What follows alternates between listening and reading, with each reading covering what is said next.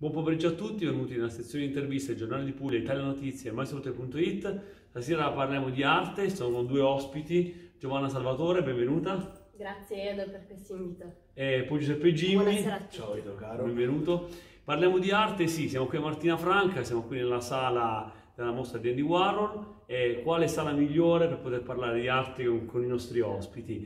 E con Giovanna Salvatore parleremo del suo evento insieme a a tutto il suo staff che ha fatto questo weekend a Martina Franca, Wake Art, quindi quelli parleremo proprio di questo evento, ovviamente sull'arte, mentre con Giuseppe Jimmy parleremo della sua vena artistica e dei progetti che ha per quest'anno 2020 eventualmente citiamo qualche evento, qualche tuo progetto 2019, così visto che stiamo facciamo uno e l'altro. La grande collaborazione con loro soprattutto. Infatti poi parleremo anche di questo, quindi iniziamo con l'evento di Giovanna, quindi Wake Art, raccontaci cos'è questo evento Giovanna. Certo, buonasera innanzitutto. Il Wake Art Festival è un evento multidisciplinare che pone al centro dell'attenzione il dialogo tra le arti visive, figurative e letterarie, um, chiaramente territoriali, quindi noi mettiamo in primo piano le potenzialità dei talenti degli artisti territoriali. L'evento, come diceva Edo, um, Edoardo, il dottor Giacovazzo, è con Condivisione Italia, quindi questa community presente ormai in 20 territori in tutta Italia,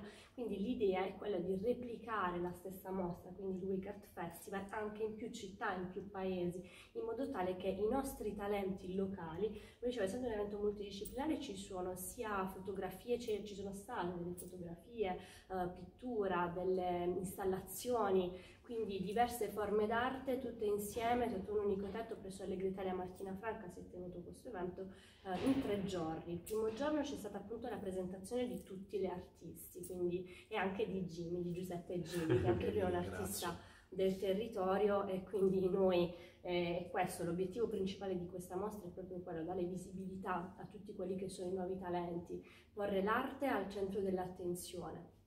Il Infatti... secondo giorno ci sono state anche due presentazioni di libri, quindi quando parlavo di evento multidisciplinare anche letterario eh, diamo voce anche ai nuovi talenti, erano tutti nuovi scrittori, tutti i libri presentati, Monica Passiatore, Elisabetta D'Ambrogio, Antonio Di Pierro, erano tutti la loro prima pubblicazione. E noi crediamo proprio in questo, che la forza degli artisti sta nella loro valorizzazione in primis sul territorio di nascita, per poi espanderlo a diffondersi. Sì, esatto. Tra l'altro ehm, faccio complimenti a Giovanna perché è sempre attiva, non solo, sono sull'arte soltanto, ma sulla cultura in generale, quindi complimenti e non mollare. Grazie. non fermarti mai, tanto è difficile fermarla, quindi sono sicuro che andrà bene. Eventualmente poi ci fai vedere qualche foto. Sì, certo. È un po' la lista degli artisti, così lo scriviamo anche all'interno dell'articolo, perché molte persone, come io sono convinto di questo, non sanno. Anche se c'è informazione, c'è sempre una disinformazione. Tante informazioni ma con tanta disinformazione vero? È vero, voglia, la pubblicità non è mai abbastanza, perché spesso, mm, vabbè, oggi con i social, facendo l'utilizzo giusto dei social, ecco perché,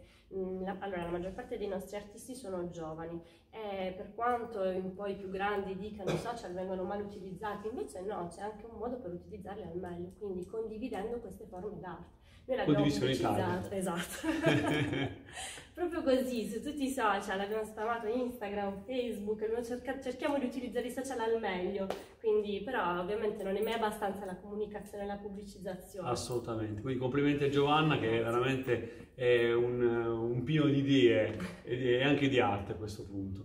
Invece con Giuseppe e Jimmy um, vogliamo affrontare i, i progetti che ha fatto più o meno nel 2019 e che ha in prospettiva nel 2020. Quindi, caro Giuseppe, Ciao, raccontaci chi sei, anche se già abbiamo fatto nella scorsa intervista. Sì, sì, realtà, quest'estate raccontaci chi sei e quali sono i progetti. Realizzo questa linea di maglie ispirata agli anni 80 su richiesta della gente, quindi la gente un po' diventa protagonista con delle frasi, con delle scelte uniche soprattutto. Poi ho avuto la fortuna di stare con loro ma innanzitutto perché ci sono tanti stili diversi ed è importante imparare perché non si finisce mai imparare perché c'era magari uno che creava dei tattoo, dei quadri, delle foto, io ad esempio che creo queste linee di magliettine, è bello perché dopo, dopo aver fatto tanti lavori a tanti personaggi anche dello spettacolo, citiamo Jerry Calà, Alessandro Borghi, da Fabri Fibra, sono veramente contento di, di parlare di questa mia vita un po' retro, ispirata a questi anni 80. Ma infatti, che... volevo spiegare a chi ci ascolta. Allora, eh, Giuseppe ha malapena 22 anni, giusto? Nel 97, sì. Eh,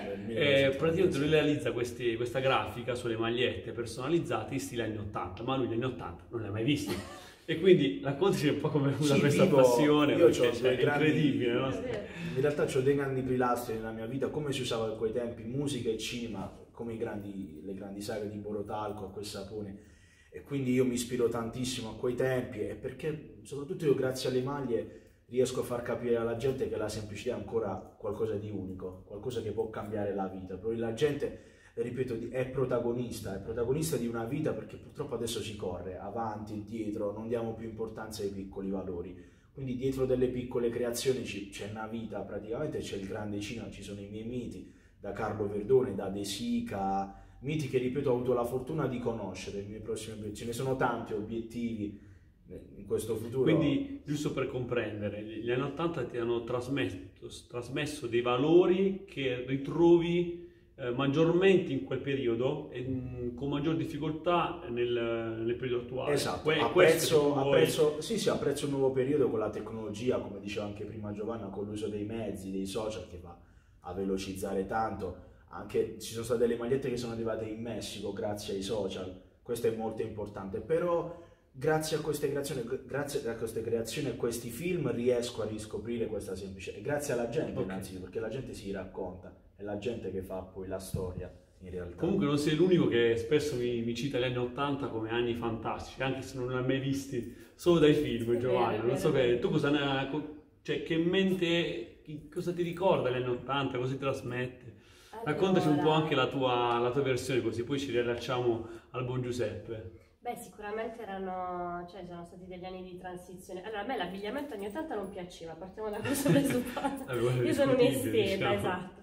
Però una cosa, ecco, un lato positivo è sicuramente eh, si evince questa voglia di fare questo grande cambiamento, questo affaccio nel nuovo millennio, quindi eh, era in, in questo senso vedo tanti segnali positivi. Per quanto riguarda l'estetica, ripeto, l'abbigliamento non era dei, diciamo, dei miei preferiti, ecco. Quindi valori livello sì anni di arte. 80, vestiario no. Esatto, sì.